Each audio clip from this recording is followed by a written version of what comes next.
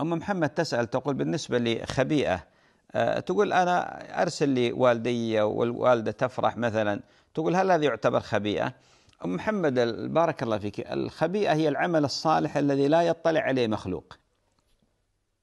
لا يطلع عليه مخلوق. فأنت إذا تصدقت على الوالدة طلعت الوالدة لكن هذا ما يعني أنك تقطعين الصدقة على الوالدة أو العطية أو الهدية أو الهبة. لا لا استمر على هذا قد يكون هذا ليفرح الوالدة أفضل من الخبيئة اللي بينك وبين ربك. قد يكون العمل ذاك قليل وهذا عمل عظيم. هذا من بر الوالدين من إفراح الوالدين. أنا أقترح عليك تستمرين على هذا. لكن مثلا الخبيئة قيام الليل ما حد يدري عنك. ما أحد يدري أنك قائم الليل. صيام النهار مثلا تصومين وما حد يدري أنك تصومين. ذكر الله عز وجل بينك وبين نفسك.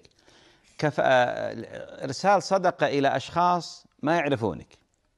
تصدق بصدقة فأخفاها حتى لا تعلم شماله ما أنفقت يمينه.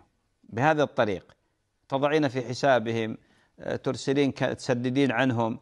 هذه خبيئة. بارك الله فيك.